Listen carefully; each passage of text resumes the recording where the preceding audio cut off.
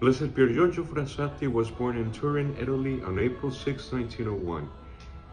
His mother was a painter and his father was a founder of the Italian newspaper La Stampa, and he was very influential in Italian politics. Pier Giorgio developed a deep spiritual life which he never hesitated to share with his friends. The Holy Eucharist and the Blessed Virgin were the two poles of his life. At age 17, he joined the St. Vincent de Paul Society, and he dedicated much of his time to serve the poor and the needy. He was an athlete, social activist, and a lover of art, music, and literature. Pier Giorgio died on July 4, 1925, at age 24, after having contracted polio of serving the sick. He was beatified on May 20, 1990 by John Paul II, who called him the man of the eight beatitudes.